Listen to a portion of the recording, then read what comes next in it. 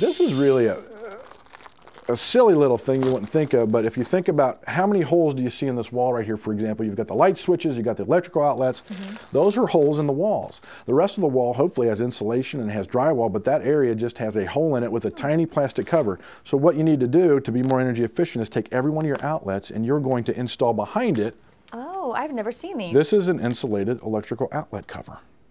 I have never seen these. That goes right behind. Right behind plate? it. That's right, exactly. And increases the energy efficiency from one to five uh, R value.